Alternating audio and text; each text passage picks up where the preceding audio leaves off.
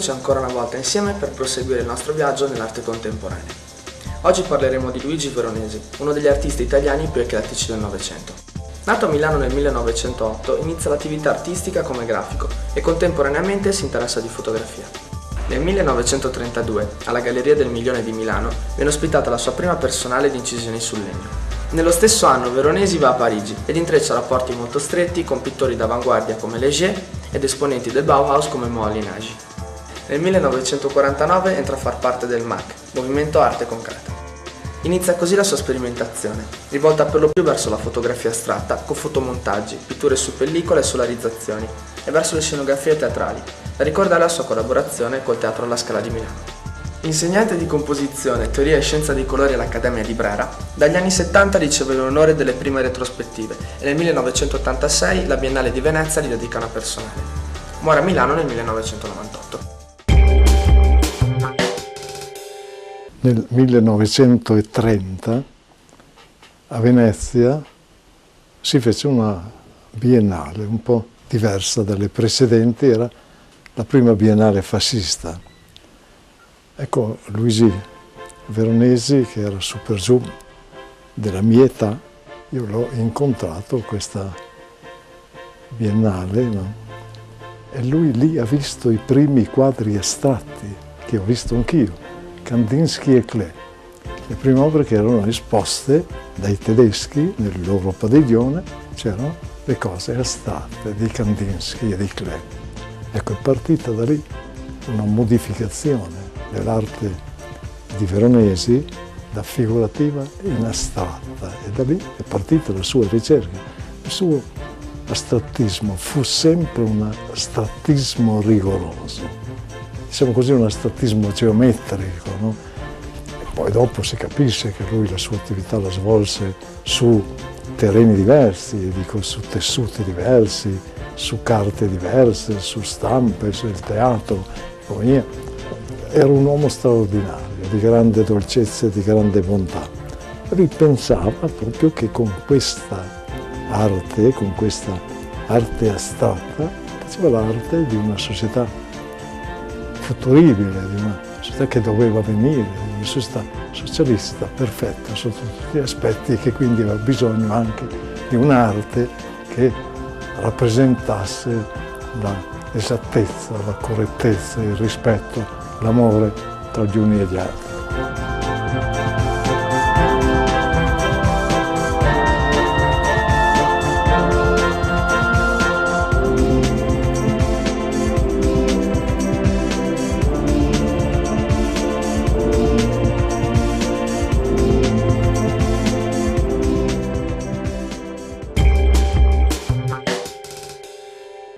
Uomo generoso, uomo aperto, eh, legato molto all'arte, allo specifico dell'arte, sperimentatore, ehm, immune da pericoli idealistici, legato proprio alla concretezza del fare e però molto attento anche all'aspetto sociale.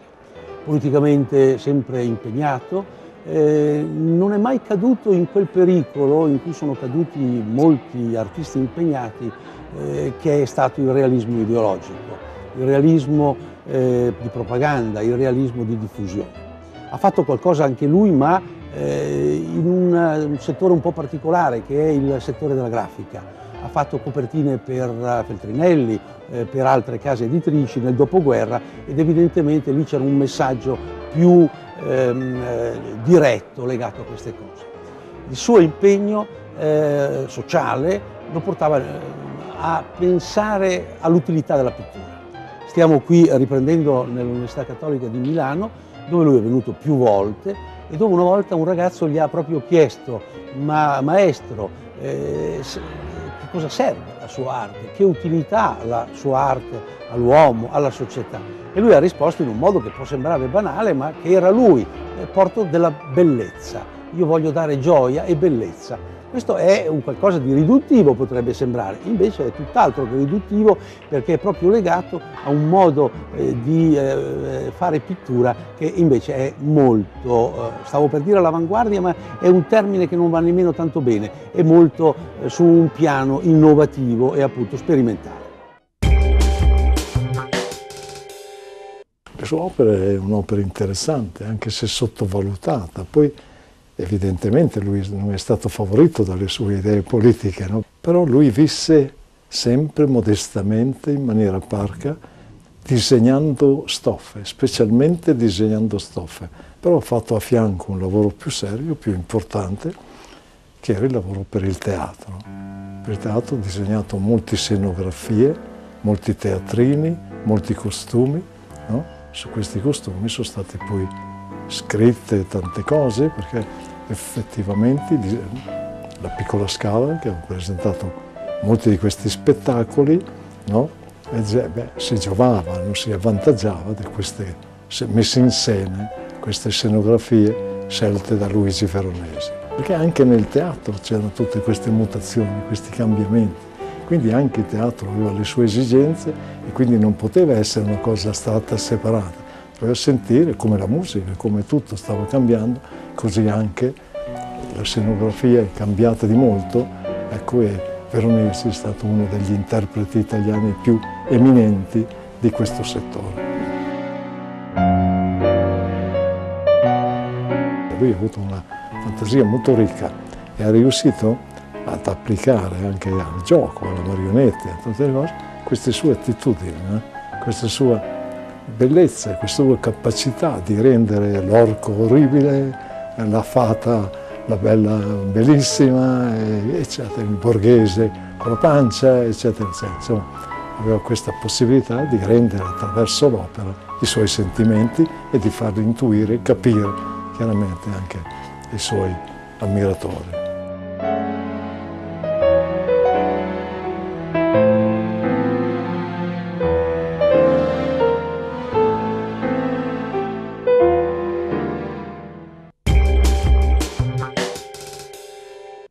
Fu un grande ricercatore nel campo della fotografia. Allora in quel momento si fecero molte esperienze. Veronesi provava queste esperienze della solarizzazione, per esempio perdeva una carta sensibile, sulla carta sensibile, tanto per dare un'idea, appoggiava un ingranaggio al buio, poi accendeva di colpo una forte luce e la spegneva. Allora rimaneva impressa una la figura, l'immagine rimaneva impressa nella carta e poteva avere le tonalità che tu avevi scelto. Insomma, queste ricerche sono state fatte a fondo e io lo tratto in maniera superficiale, questa però è, ha costituito degli studi molto seri. Lui ha partecipato fra le avanguardie del, della ricerca in questo settore.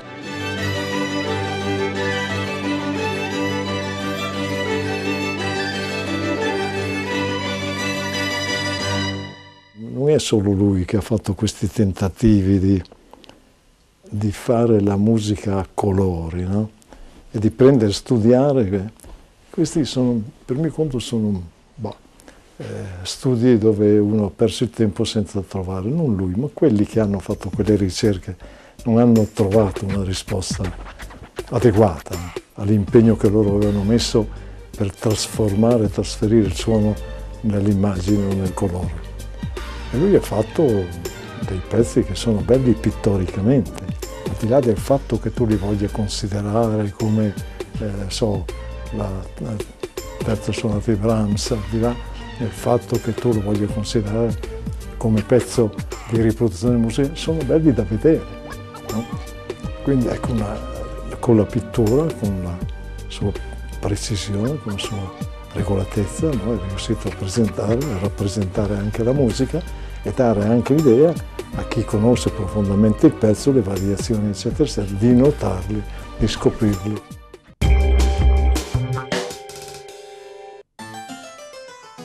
Lui veniva in villeggiatura, sempre a San Cassiano, dove si trovava molto bene. Io una volta sono andato a trovarlo a San Cassiano e lui stava rientrando in albergo, tu con dei segnacci neri in faccia. Ma cosa hai fatto? Eh, ho fatto l'indiano con i bambini. Sai, lui era, aveva così uno spirito, pur essendo un uomo anziano, aveva uno spirito, una sensibilità giovanile, no? e giocava con tutti, con gli altri ospiti, con i bambini degli ospiti, andavano nel bosco, era una giornata alla settimana che era dedicata a questi camuffamenti verso travestiva e con i turaccioli bruciati si dipingeva la faccia e dimostrava il suo piacere ed amore per il teatro, diventando attore lui stesso.